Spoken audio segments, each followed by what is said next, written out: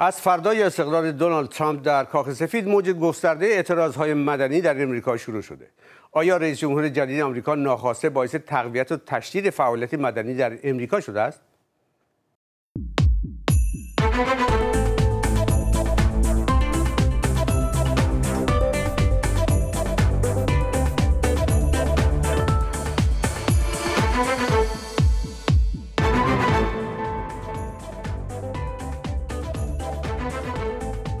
سلام من فانی هستم. دونالد ترامپ در دوره کارزار انتخاباتیش وعده هایی داد که بسیاری آنها را نژادپرستانه، زن ستیز و اسلام ستیز دیدند و نکویش کردند.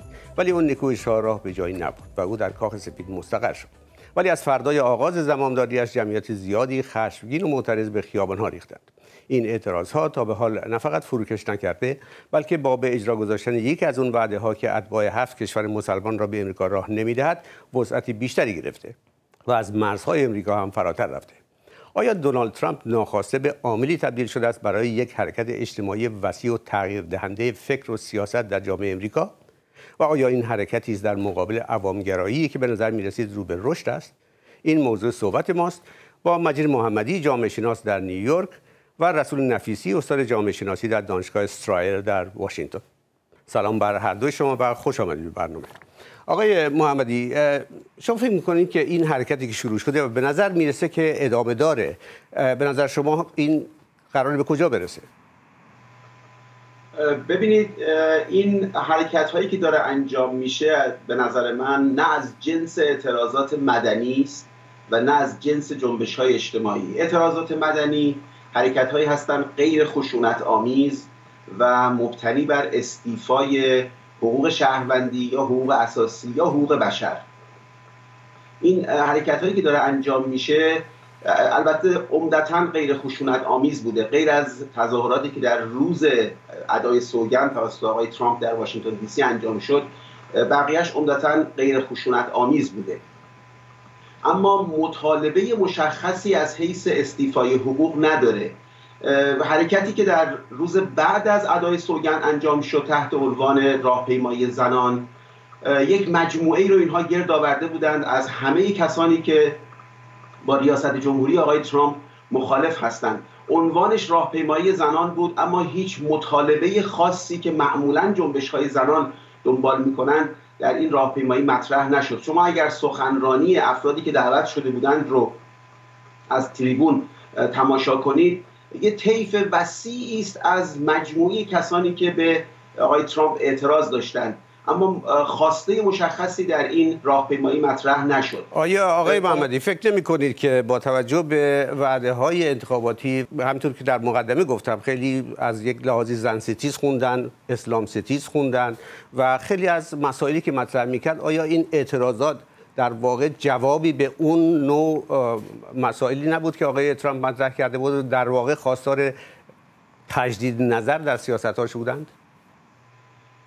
ببینید اگر به مطالبی که گفته شد در روز این راهپیمایی به شعارها به پلاکاردها به سخنرانی ها نگاه بکنیم یه طیف وسیعی است کاملا پراکنده است. هیچ نقطه مشخصی رو مورد هدف قرار نمی‌دادند معمولا در جنبش های زنان خب یا از حقوق مساوی برای کار مساوی دفاع می‌کنند یا در مواردی که حقوق زنان نقض شده به سراغ اونها میرن اونها رو مورد هدف قرار میدن. در راهپیمایی زنان من چنین چیزی رو ندیدم. بسیار طیف گسترده ای از سخنان اعتراض در کنار هم گذاشته شده بود. در مورد حرکتی هم که بعد از فرمان آقای ترامپ انجام شد عمدتا در فرودگاه ها کسانی به خیابان آمدند که هیچ حقی از اونها ضایع نشده بود. اونها از حقی که دیگر شهروندان دیگر کشورها دارند داشتن دفاع می‌کردن که واقعا حق نیست. هیچ شهروندی در اون هفت کشور حق گرفتن ویزا نداره. ویزا یک امتیاز هست و نه یک حق هست. از همین جهت اینها حرکت های مدنی نیستن اعتراضات مدنی نیستن. از جنس جنبش های اجتماعی هم نیست این حرکت هایی که داره انجام میشه. چون جنبش های اجتماعی خب معمولا چی آقای محمدی اگر حرکت مدنی نیست اعتراضی هم نیست از دید شما پس چیه این حرکت ها شما اسمش چی می‌ذاری؟ مجموعه است از اینها مجموعه است از اعتراضات کسانی که به انتخاب آقای ترامپ معترض هستند. نامزد مورد نظر اونها چه حالا خانم هیلاری بوده باشه و چه آقای سندرز نامزدشون به کاخ سفید راه پیدا نکرده.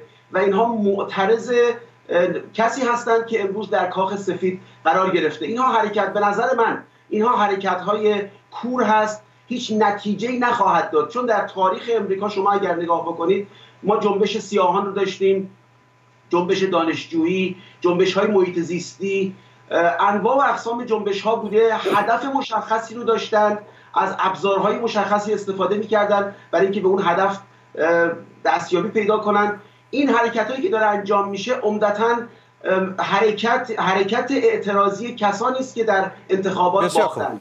خب روشن نظر شما آقای محمدی. اجازه بدیم ببینیم آقای نفیسی نظرشون چه شما موافقین که اینها در واقع حرکت نه مدنیه و نه اعتراضی؟ اصلا متوجه منظور ایشون من نمیشم به هیچ وجه. که چه هدفی رو باعث این دنبال می‌کرد.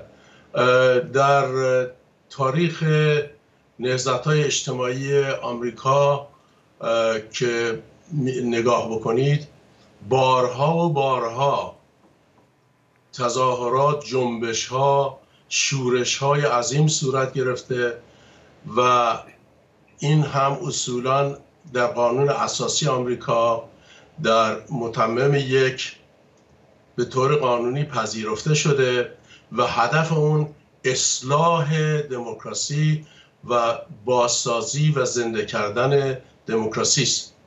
بنابراین همیشه اینها هدف اصلاحی داشته حالا به هر شکلی که بیان شده.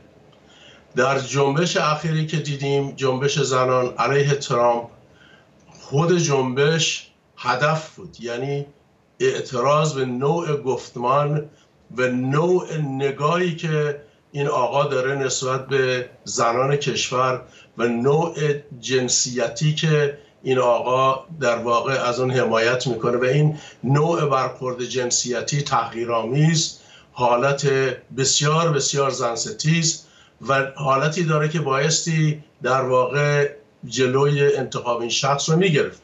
ولی به هر صورت به علت این اشکالی که در الکترال کالج آمریکا وجود داره انتخاب شد. بنابراین هدف تظاهرات آمریکا هدف تظاهرات زنان آمریکا نوعی اعتراض به این شخصیت خاص بود که به طور خیلی عجیبی ضد زن و ضد نظم اصولا. یه شخصی است که میشه این شخص رو در واقع آنارشیست حساب کرد. بنابراین اون اعتراضی که شده و قطعا تا این چهار سال آینده انواع آن رو خواهیم دید. از طرف هیلاری کلینتون اینها تحریک نشده. اونجور که آقای ترامپ میگه. نه. جامعه آمریکا یک جامعه است که همیشه در حال بیداری است و این بیداری باید اون تبریک گفت. یعنی وقتی که جنبشی ایجاد میشه یا جریان ایجاد میشه نهزت ایجاد میشه هدف اون اصلاحی است. منتها یک چیز در مورد این جنبش زنان گفت. و اون این است که چون این جنبش خودانگیخته بود و میلیون ها نفر در اون به ناگاه و به سرعت شرکت کردن متاسفانه این تبدیل به یک نهزت نشد و اصولا در جنبش های جدید اگر نگاه بکنیم که پایه و اساس و شبکه اونها اینترنته و از طریق شبکه های اجتماعی مردم با هم تماس می‌گیرن. حالت نهزت سازی متاسفانه از بین رفته. نهزت رهبر می‌خواد شبکه می‌خواد پول می‌خواد تبلیغات می‌خواد و دوام می‌خواد. خب حالا آقای نفیسی ببخشید حرفتون قطع می‌کنم. حالا با این صحبت که شما دارید می‌کنید به نظر می‌رسه که پس نمی‌تونه ادامه داشته باشه. اگر که به صورت نهضت تبدیل نشده و رهبری نداره و سازمان یافته نیست و خودجوشه اینا باعث یک اتفاق دیگه بیفته که باز به صورت خودجوش مردم بیان به خیابون. فرمایشتون کاملا درسته.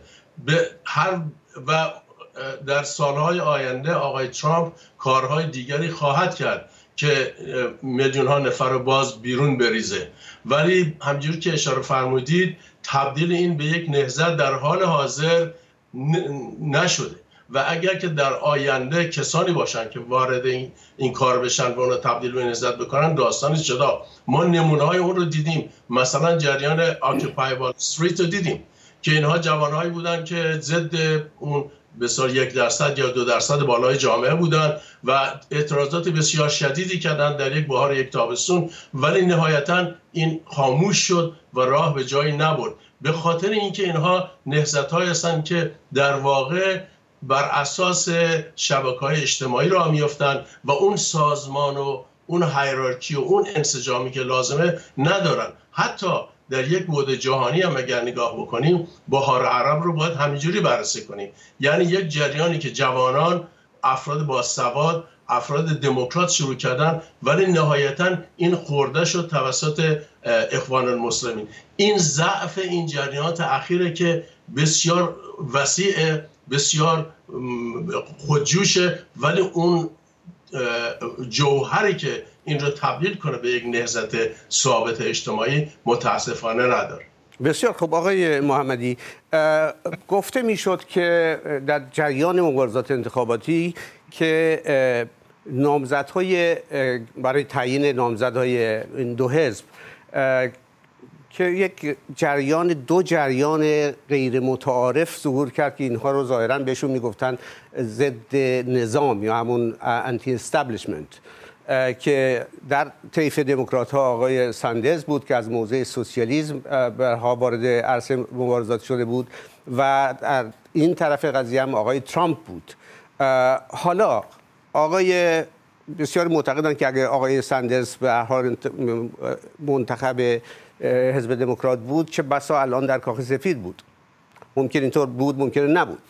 ولی حالا که آقای ترامپ انتخاب شده و اگر ما اینو قبول بکنیم که جامعه آمریکا اونایی که رای دادن در واقع همون ضد نظام بودن و می‌خواستن آدمی بیاد سر کار که چیزا رو تغییر بده حالا که حرکت اعتراضی علیه اون هست آیا بازگشت به نظام باید اسمش گذاشت یا اینکه چی هست به نظر شما؟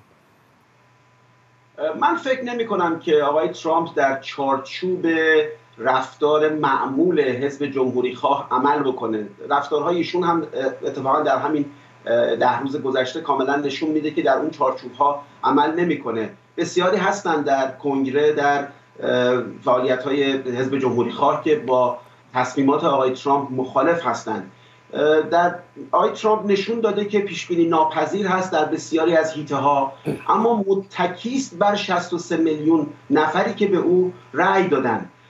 تفاوتی که وجود داره بین نهزتی که پشتیبان آقای سندرز بود و نهزتی که پشتیبان آقای ترامپ هست نکته اصلی این هست که آقای ترامپ بیشتر متکیست بر رأی دهندگان غیر, شهر، غیر شهری. در شهرهای بزرگ اگر شما به نقشه رأی در امریکا نگاه بکنید در مناطق شهری بزرگ عمدتا خانم هیلاری بودن که رأی اکثریت رو بردن بیشتر مناطق حاشیه شهری است و مناطق روستایی است.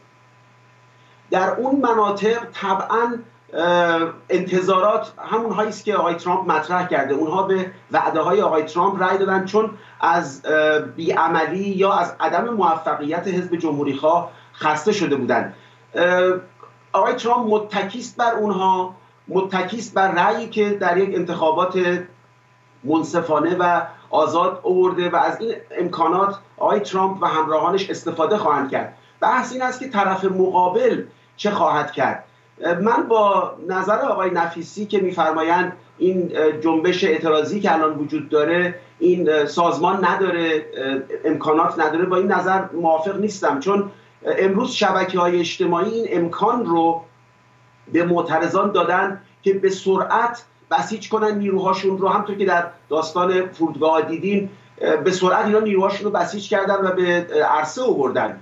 از حیث بودجه و امکانات هم کسانی هستند در امریکا که کاملا از اینها حمایت می‌کنن.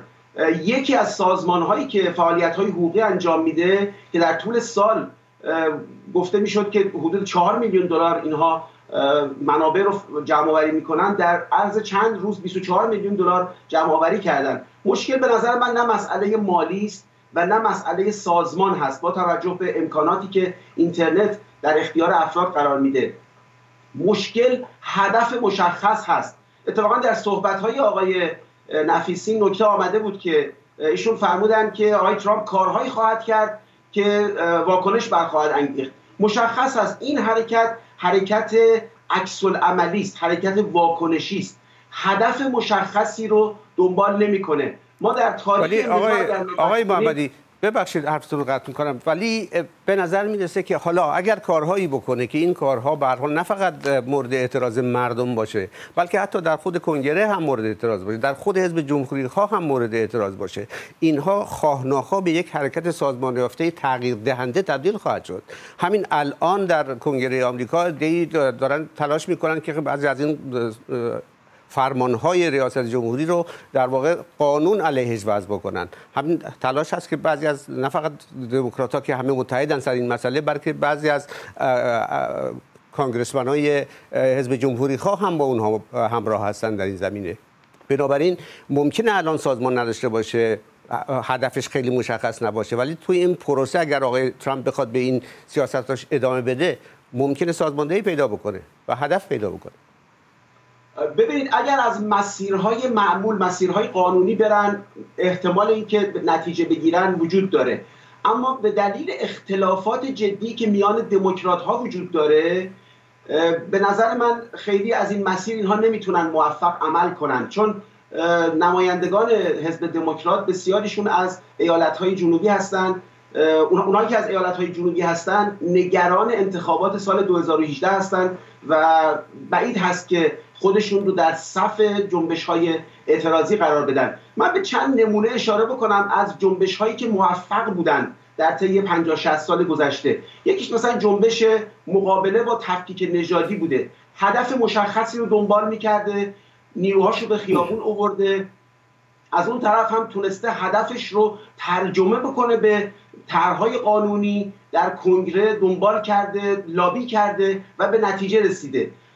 جنبش دیگری که نتایج درخشانی داشته در همین 20 سال گذشته جنبش مربوط به حقوق همجنسگرایان یا تراجنسگرایان بوده. اینها هم چون هدف مشخصی داشتن مثلا برابری خب درسته این کاملا این, این مثالایی که می‌زنین کاملا درسته. حالا صحبت من این اجازه بدید من این سال رو از آقای نفیسی هم بکنم که آیا در پروسه عمل و با روشن شدن خیلی از مسائل و احتمالا فرمانهای دیگری یا قانونهای دیگری که آقای ترامپ دنبالش برای وضعش که برده اعتراض مردمه. آیا ممکن آقای نفیسی که این جنبش اولا ادامه پیدا بکنه و بعدش هم هدف مشخص و سازماندهی پیدا بکنه؟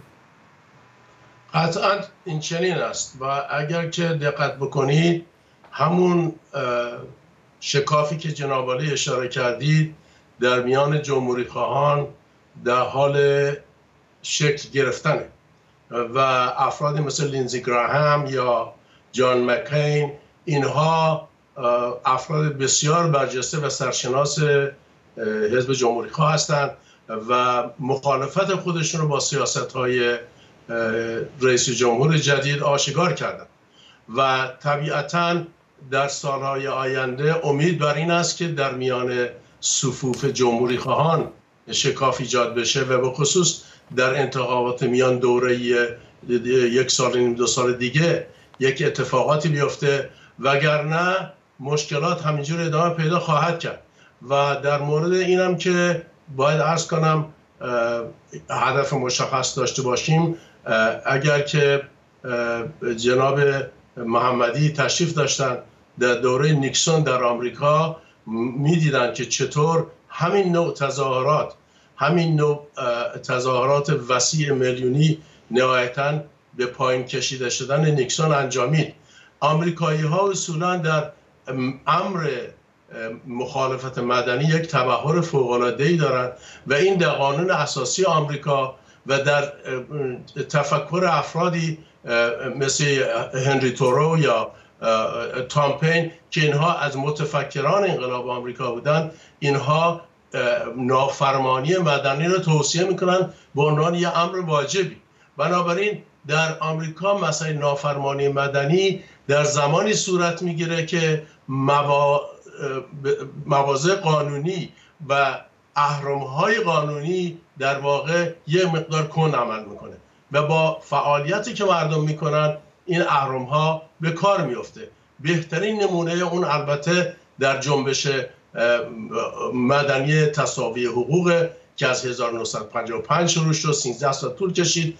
و نهایتا تصاوی حقوق رو برای سیاهان و دیگران ایجاد کرد. بنابراین مسئله تظاهرات در آمریکا مسئله مخالفت مدنی در آمریکا یک امر بسیار بسیار مشروع و بسیار جا افتاده است و زمانهایی که قانون در واقع نمی‌تونه درست عمل بکنه یا کن عمل می‌کنه یا دچار مشکلات میشه. مثل همین الان که ما یک رئیس جمهوری داریم که مخالف اون سه میلیون بیشتر رأی آورده.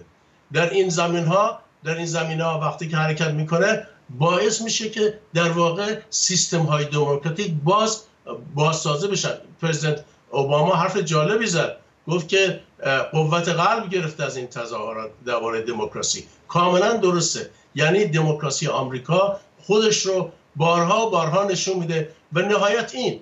باید این عرض کنم. اگر که شما در جریان این تظاهرات و مخالفت ها نگاه کنید اتفاقا من امیدم به یک چیز دیگه است که بلکه یک جنبش ایجاد بشه که این الکترال کالج از بین بره که این یک امر بازمانده از 200 سال پیشتر بیشتره و این یه امری است که در واقع یک خاری است در راه دموکراسی و مشکل انتخابات صحیح و عادلانه رو ایجاد می‌کنه مثل الان که باعث این همه مخالفت میشه. بسیار خوب. آقای محمدی حالا به حال این اعتراضات ظاهرا ادامه داره و اگر بر اساس صحبت های آقای نفیسی بریم چه بسا به حال یک سازمانی هم پیدا بکنه و به یک جنبش های دوامدار مدنی تبدیل بشه که به حال اعتراضاتش بتونه تثبیت بشه و به جایی برسه.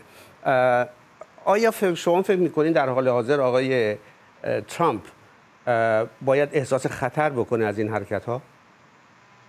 من فکر نمی کنم چون اعتراضات مدنی در امریکا یک نهاد قدرتمندی است قانون ازش حمایت می‌کنه افکار عمومی ازش حمایت می‌کنه در جامعه امریکا خیلی بعید هست که دولت در برابر اعتراضات غیر خشونت آمیز بتونه ایستادگی بکنه. این یکی از ویژگی های بسیار مثبت دموکراسی در امریکا هست. در این زمینه من کاملا هم نظر هستم با آقای نفیسی. اما آقای نفیسی هم حتما با من هم نظر هستند که برخی از جنبش های اجتماعی اعتراضات مدنی در طول تاریخ موفق بودند و برخی موفق نبودند. مثل همون مورد جنبش علیه وال استریت. جنبش موفقی نبود. اومدن در خیابان ها مدتی هم در خیابان ها ماندن. هدفشون هم کاهش شکاف طبقاتی بود اما به نتیجه نرسید. در مقابلش هم جنبش های موفقی بودند که در این برنامه هر دوی ما بهشون اشاره کردیم. آنچه که خب، امروز در بدین آقای آقای محمد اجازه بدید از این سوال این سوال چون وقتی بونم خیلی کمه من این سوال آخر از هر دوی شما بپرسم و از شما شروع می‌کنم و اون اینه که اگر که خود نظام احساس خطر بکنه اگر ما قبول بکنیم که آقای ترامپ به حال یه طوری ضد نظام هست یک مهره متفاوتی نسبت به بقیه نامزدهای انتخاباتی و رئیس جمهورهای گذشته. اگر خود نظام احساس خطر بکنه با توجه به پشتوانه اعتراضهای مردمی که همین الان هم بسیاری از به افراد نمایندگان مجلس های امریکا هم صدا شدن توی تظاهرات شرکت می‌کنن و احساس نگرانی می‌کنن. اگر خود نظام احساس نگرانی بکنه اون وقت شما فکر نمی‌کنین که خطرناک می‌تونه باشه برای آقای ترامپ؟ من فکر نمی کنم چون آقای ترامپ با هوشمندی کابینش رو به گونه چیده که کاملا سوار بر نظام هست. امروز جمهوری خواهان اینطور نیست که از وضعیت کابینه آقای ترامپ و بسیاریشون از تصمیمات آقای ترامپ ناراضی باشن و او رو تنها بگذارن. از همین جهت هم هست که جنبشی که در مقابل او قرار می‌گیره طبعا جنبشی است که در برابر مجموعه نیروهای جمهوری خواه قرار خواهد گرفت. این جنبش من خلاصه اگر ارز کنم جنبش نه به ترامپ هست. دنباله انتخابات هست و جنبش هایی که معمولا نمیگند و هدف ایجابی مشخصی ندارند اینا نمی‌توانند جنبش های موفقی باشند بسیار خب آقای نفیسی نظر شما چی؟ من سوالمو تکرار نمی کنم در واقع لب صحبتم سوالم اینه که آیا نظام در مقابل آقای ترامپ ممکنه بیسته؟ پیشبینی سیاسی یک امر ریسکی و خطرناکی است. ولی بنده می‌خوام این خطر رو بکنم و بگم که آقای ترامپ حتی ممکن است که این پیچ بشه در کانگرس یعنی و حتی ممکن است که شغلش رو دست بده. و استیزاه بشه و حتی شغلش رو دست بده. به خاطر اینکه ایشون در همین مدت کوتاهی که ریاست جمهوری داشته نشون داده که فرد بیکفایتی است. و دچار هیجانات و تصمیم گیری های عجولانه است و این بسیار خطرناکه برای یک شخصی که بمب اتمی رو در اختیار داره و باعث تاسفه که رقیبشون خانم کلیتون یه فردی بود که اصلا هیچ نوع یعنی هیچ نوع که نمیشه گفت محبوبیت بسیار کمی داشت و نتونست در مقابل این فرد ایستادگی بکنه. برای دقت بکنید آقای ترامپ تنها به صلاح اون موافقتی که الان موافقت ملی که در آرا عمومی داره 37 درصده. و این کمترین به صلاح محبوبیتی که یک رئیس جمهور در اول دوره خودش داشته. و الان البته جمهوری خواه در کنار ایشون حرکت خواهند کرد چون رسم بر این است که در این سه ماه اول به هر صورت سعی می‌کنن که رئیس جمهور رو راه بیاندازن و کاراش رو روبرا بکنن. ولی در میان خود این جمهوری خواه قطعا همجور که عرض کردم افراد بسیار معتبری همین الان مثل آقای لینزی گراهم و جان مکین اینها همین الان مخالفت خودشون رو اعلام کردن. خیلی متشکرم آقای نفیسی و آقای محمدی. ممنون از هر دوی شما. و این بود صفحه دوی این هفته. این برنامه و برنامه های هفته گذشته در صفحه صفحه دو در وبسایت ما به آدرس bbcpersian.com قابل دسترسه این برنامه همینطور در صفحه فیسبوک ما هم هست facebook.com صفحه دو. از وبسایت و همینطور از صفحه فیسبوک صفحه دو می‌تونید نظرتون رو درباره برنامه امشب برامون ایمیل کنید. این برنامه در کانال یوتیوب ما هم می‌تونید ببینید. ممنون شما که با ما بودید و توصیه می‌کنم روز پنجشنبه برنامه صفحه دو آخر هفته ما رو هم ببینید. شب روزتون خوش. Música